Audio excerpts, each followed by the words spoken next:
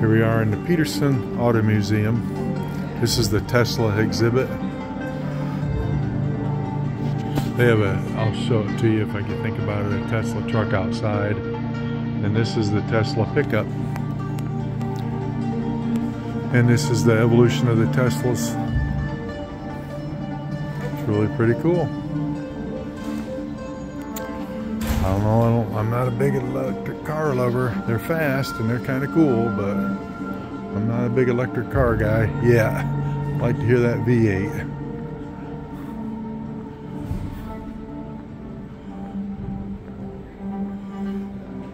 This is what I'm part I'd be interested in is these engines, motors. That's the part I think is interesting is these transaxles they have to develop a way to put that carbon fiber, put that engine together to spin 20,000 RPMs. These motors.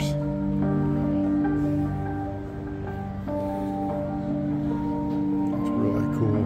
And then they build them with robots, and there's the batteries.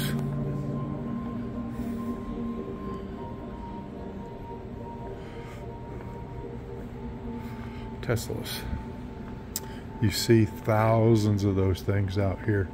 Everybody's got a Tesla and a BMW, seems like, and a few Porsches. This, to, this is the battery. A whole bunch of batteries.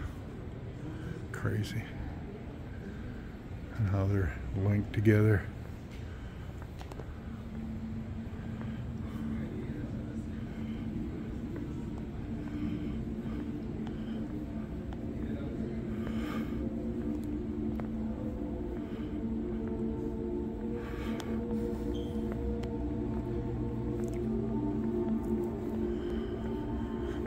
This is a Tesla Roadster.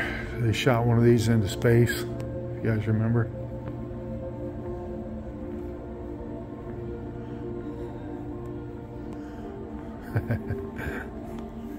I agree with this for a little while. Eventually, if they can go 500 miles and recharge in five minutes, there wouldn't be another gas car left to buy or have. It's just the recharge and the cost of the replacement of the battery. That's what gets me. See, they like bad idea. Can Tesla become a real automaker? Yeah, they're they're all right. Just depends on what you use them for right now. And you can't. And the pickup trucks ain't quite there yet. They'll get there. There's a Beamer out there. Pretty cool. What's funny is people don't realize electric cars were here before gas cars. There's an example right there. People just don't realize that. And then this is the 2009 prototype of the Model S. Then here's electric cars back in the day. So it's not anything new. They just got it, the technology just caught up enough to actually make them somewhat viable. Now you just gotta let it continue to progress. Pretty cool. So on the second floor, and this is the Porsche exhibit. They keep changing stuff, uh, so fresh exhibits.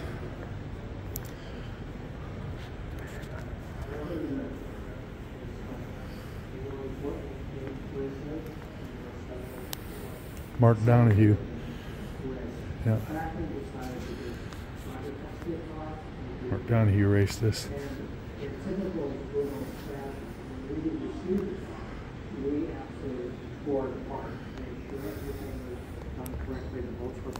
So that's a famous car. And here's Patrick Long, Patrick Dempsey's car, Steve McQueen's cars.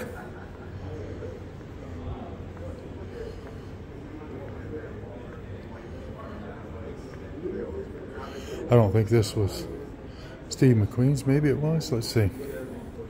Formerly owned by Steve McQueen. So Steve McQueen drove this. It's kind of cool. got a pretty unique skill set. 76, yeah, it would be. Yeah. National champion race car driver. Same thing with motocross. And he was really looking for a way to one dollar. Kind of one move. It's a way for us to express ourselves, express our DNA on here. That's his Steve McQueen's son, probably there. That's him sitting there. Chad McQueen, founders of McQueen Racing.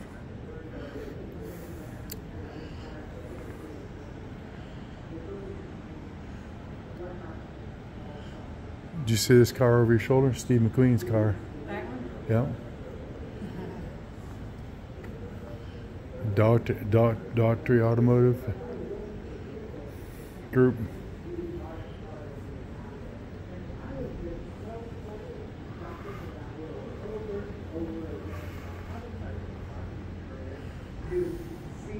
Ferry Porsche. Schneider, Hurley Haywood, Mark Donohue, Ken Miles, Patrick Long. I recognize all these people. Patrick Dempsey.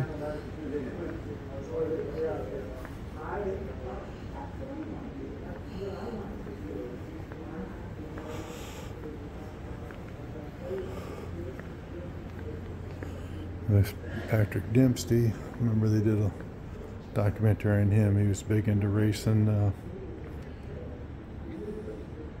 you remember uh, Patrick Dempsey, right, Ben? He's still running around.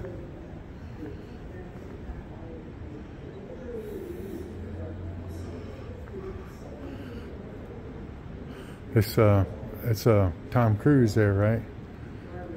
Up sitting on this Porsche. Oh, this was used in uh, this one here, Top Gun Maverick. Yeah, see, that was her car. Oh yeah, remember? Yeah.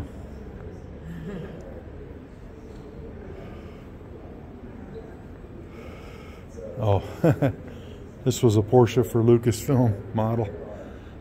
And then Doc Hollywood, see, remember he had that Porsche he wrecked.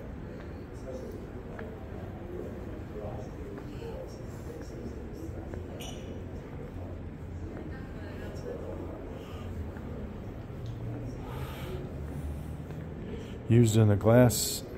Oh, see this one? This was in a movie. Used in Glass Onion and Knives Out Mystery. This 918 Spider is badass. Hybrid. Yeah, I bet you that thing scoots. Yeah, I bet you that thing goes.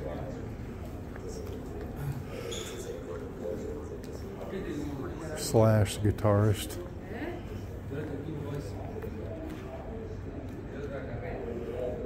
Personalizers. Rod Emory. Ooh, that's nice. Custom. Bob Ingram. Big time Porsche dude. Gene Defers. Troutman and Barnes. They made a four door over there. It's probably the beginning of like that Panera. Panera. Panera. Panera. These types of objects are extremely interesting historically because we can see the trends that that emerge here that-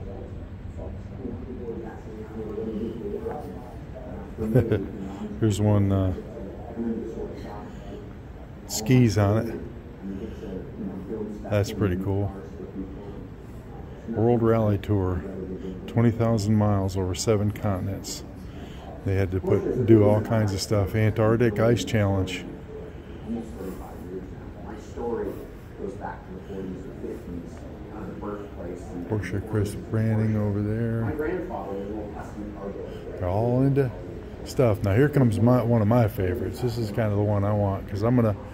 I'll show you what I'm gonna what I, in just a second here. Okay, we're done with the Porsches. Now here is what gets my attention because I want to build one of these. I got a 327 sitting there, ready to go. All I need is the body. So I want to build. I'd like to build one of these before I die. This is Peterson's. Uh, he started Hot Rod. I remember, you know, I had Hot Rod Carcraft and the Motor Trend magazines as a kid. And this was uh, the guy in the center there, him and his wife. Um, he started it uh, right after World War II and became a multimillionaire. And then they created this museum. I'd like to build, this is my kind of style here. Is this type of, because this is a salute to the deuce, the 32s. That's cool. I could have a little deuce coupe.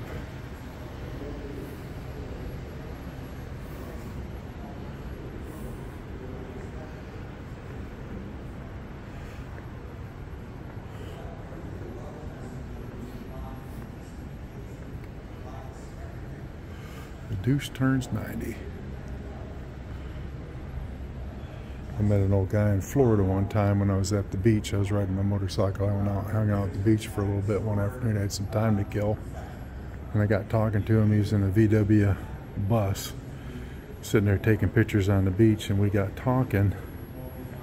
And uh, he uh, was a photographer for uh,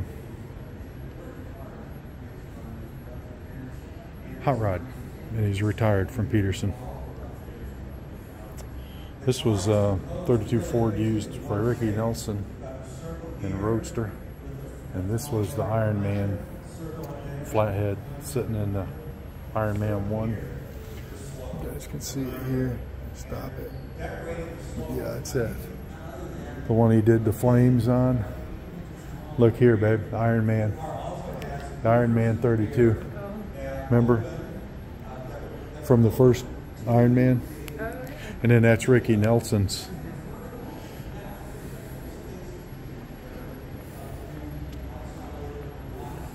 That was the one that was on the set of the Iron Man movie. All these have some history to them. Yeah. This is a Foose Loose. This is Foose's car. We'd met Chip Foose. Shook his hand, talked to him for a little bit. Good guy. Met him at the NSRA show up in Louisville. It's going on this weekend, which kind of sucks. But there's a Foose car. See if this one has any kind of history. Model. Then, then you construct a car by pressing a button on the floor, and then you have to readjust all of those uh, settings once you're, once the engine is running. Yeah, this is the stuff I like, and I want to build one of these before I'm dead. Maybe make it. I got an engine sitting there. Got a 327 I could throw in it, and I got a 302 I could throw in it. Extreme length and very, very long rear overhang. Uh, Kind of guarantees that you're going to have to approach. uh, Speed and splendor. At very slow pace and at just the right angle so you don't scrape the rear. Another very dramatic styling element of this car is the sloping grille shell. And I say shell, not grille. Delage. Original Rolls-Royce 1937 Delage. behind this slope covering. Uh, Look at that thing. Look at that. Holy cow. And this was a Ferrari. Today, it's not uncommon for a car to look like this, but back Holy mackerel. Rolls Royce Phantom 1 aerodynamic coupe, 1925 to 34. What a sled. They were intended to be very uh, correctly formal cars, and it was considered a, a bit of a desecration. Top speed. To, to But it's 108 horsepower with a 7 liter straight um, 6. look Built 2,000 of them though. Sporty. Because the fin on this car is so large, Wow. you cannot design a trunk lid to What open the way earth? they normally do, which is from the, the front. Wow. So this one opens from That thing's longer than my Super Duty. And it reveals luggage. That is freaking cool. What would be really cool would be to put a modern engine in it. And I bet you it co- cruises. Off. Look at the size of the wheels on this thing. Those things are at least- colonies. It was originally, Probably at least uh, 35s. Of course, built in England, so it's a right-hand drawing. Look at that thing. will be on the left. Isn't that crazy? Is that what he's talking about? Because he's talking about where the trunk house or- or opens to the side and had specially made luggage for it. I think it's this one. See this one? I think it's uh, this hotel, Bugatti. uh. Thank you for joining us to talk about our 1925 slash 1934 round door Rolls Yeah, Royce. that's- that's it. That's it. forward to seeing you again. That's it. That round door rolls. That's an incredible car. That's insane. It di- it looks like something out of a cartoon or something. Look at the front end on this. Man.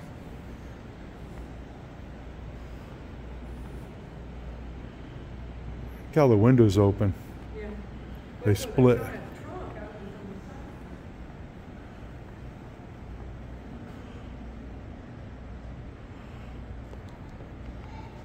me see if I can get a shot of the inside here, guys. Ain't much room in it. Ain't much room, more room than that Audi A3 I'm driving.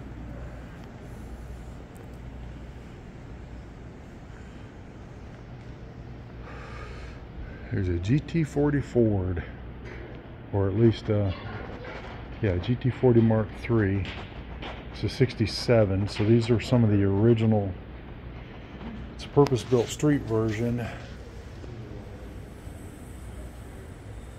Extremely limited numbers. So this is a very rare car as well. Looks like they only built seven of these Mark IIIs. Multi-million dollar car sitting right here. As is this, of course. And this. Money that's in this room right now.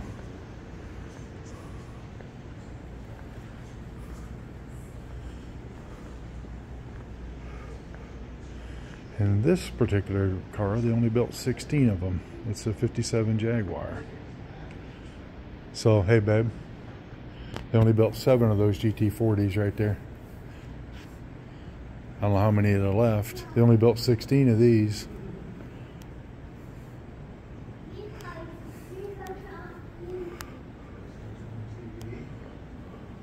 These are all concepts, pictures. That'd be neat to have in your basement. Mercer.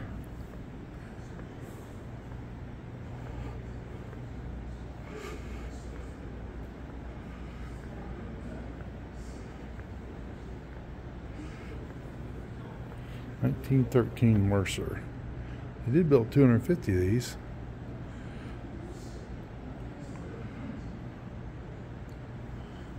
Coming up on the motorcycle one. I'm wearing my Indian shirt today. this one's pretty cool too. She's a sweet one. Amazing how they built these things.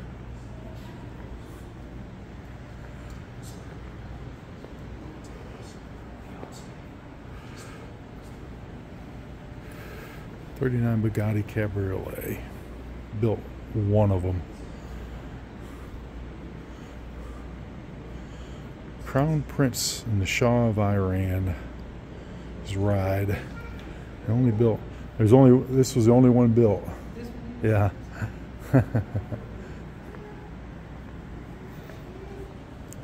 it belonged to the Shah of Iran.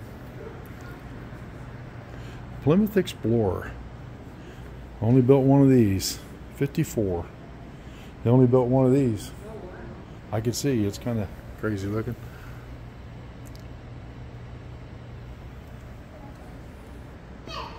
Corazzo Ghia Italy designed it to gauge the reception of this style.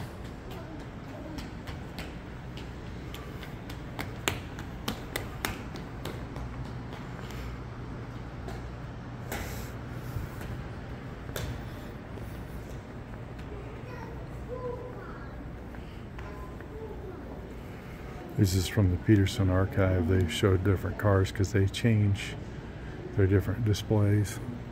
And then here you go. Yeah. This is cool too. I think these are, some of these were on loan from Barber. I don't know if this is the group that was. Would say online. It, it would say this is the Charles Nurburg. So this guy's this guy's collection. There's Oh, yeah.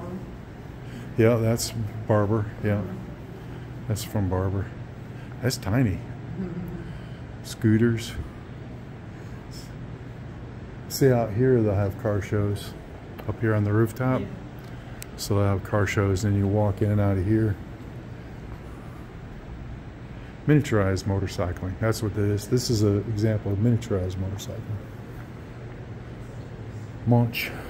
Munch Mammoth. That is too. She's a beast. Well, they said And then, years uh, later, they introduced the Wing. you know, 52 that. Triumph. That's a 52 Triumph Speed Twin Custom. That'd be a fun bike to own and put in the back of my 56. Here's a 28 Indian Scout, like your Scout Bobber.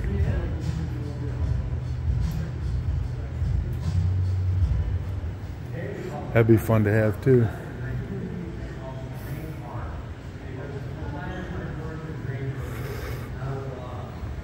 Oh, that's a different gallery.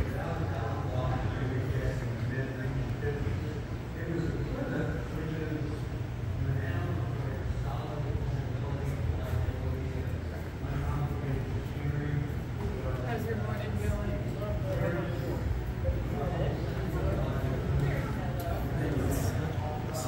Lamoda. I remember these were hot thing, and then you could buy my ZX14 and my Concours 14 were just as good or better production bikes where these were exclusive. I mean, back in the 90s, these were high dollar because of the Brembo brakes and the exotic stuff, and then you could buy it for 10 grand. You could buy a ZX14 that would just destroy it. A little heavier though. Let's look at this Indian right here. Junior Scout. Junior Scout. 1940s. Yep, Borelli. And a Norton. I remember the old Nortons. They had neighbors that had a 750 Norton or a 60s.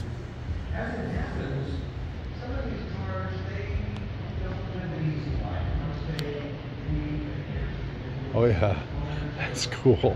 1905 Indian Signal.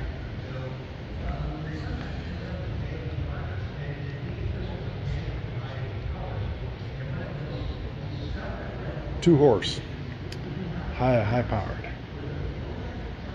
Sunbeam.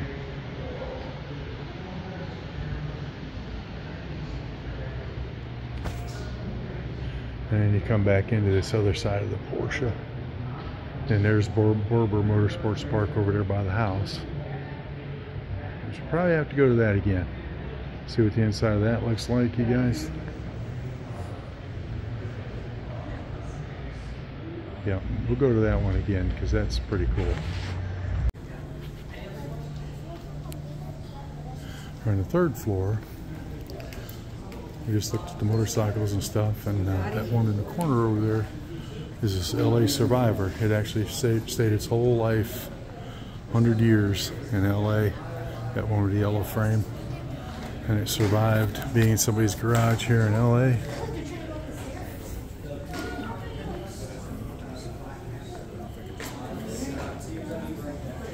It's a Nash Healey, 53 Nash Healey. Why are they making it so hard to see those? This is a bike from the Terminator and the Scooby Doo Mystery Machine. Probably can get around on the other side to this, maybe not.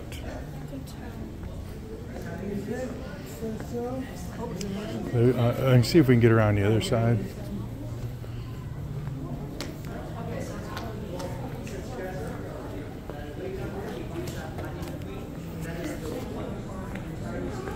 These are a lot of the Hollywood cars.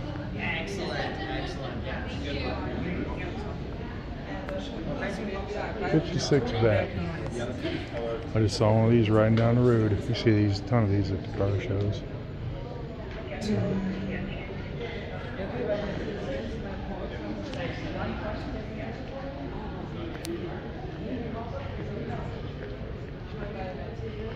I think they're working on this gallery, so you won't be able to see it as well.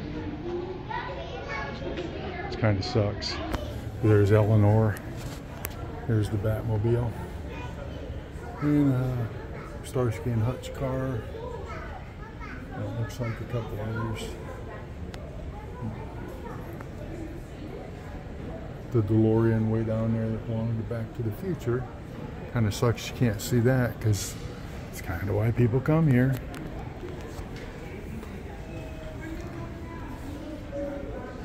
So you can't get in on those. Oh, yeah? What is it? Yeah, because it's uh, re- they're redoing it. So and that's why really people come here for some of that Hollywood stuff.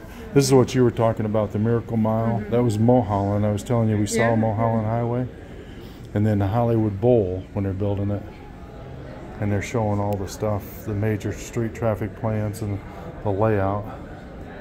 Some of this was from Route 66. See how Route 66 terminated here, which brought a ton of people. This uh, this Bullocks in Wilshire. Um, see that building? We might have seen that yesterday. That building. I think we drove right by it. Let's see what we got here. All right, Scooby Doo. And that sucks. The DeLorean's sitting over there in the corner. You can't go see it. And then uh, this thing is, I think that's one of the Fast and Furious deals. And then this BMW. And uh, Knight Rider. And Starsky and Hutch in Eleanor. And the Batmobile. Do you see Knight Rider? Not. Yeah, they got Knight Rider and the Starsky and Hutch Torino, and then Eleanor from Gone in 60 Seconds, and then the Batmobile.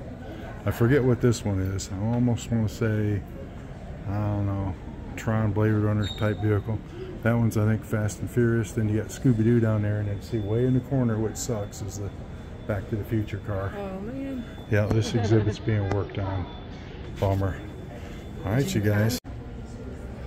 And here's Lightning McQueen. And in Los Angeles, the living city. So you got a prototype of this. Couple of these futuristic concept cars.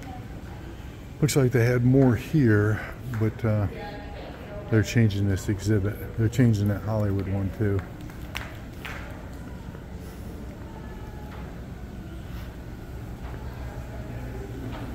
Nineteen fifty-five Ghia Gilda.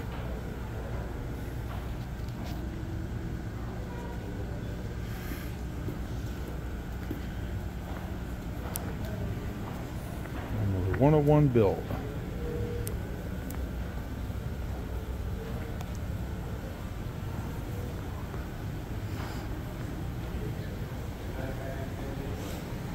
Imagine these things driving around on the street. I, I had a 56 I painted that color. 54 Alfa Romeo. BAT 7, BAT 7. One bill, number 7, BAT 7, number bill 1. I don't know why they call it BAT 7. It's got this uh, little porthole. Then the wing coming up like this.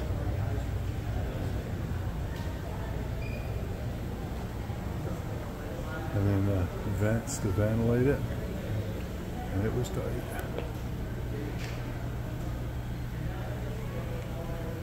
And it's got a tilt front end. It looks like, no, it's got a hood. What, oh, that's how you get in the door. You push this button to get in the door. That's where they lock the door. You push that, and I think it probably Pushes. swings out. Probably suicide doors. Uh, It would, yeah, maybe not. Maybe it pushes there and unlocks it, and then it still tilts out because I couldn't see it tilting backwards because of that fin. yeah. This thing's kind of crazy too. They're tiny inside for as long as they are. Yeah. This is a two-seater. That looks like it'd be a fun car. That's what they ought to do is make this thing electric. That that's an electric car right there. Push the wheels out a little farther. Kind of like that. That's a little more stable platform. Looks like. 1959 book sports cars of the future. That's crazy. See that color, babe? That color?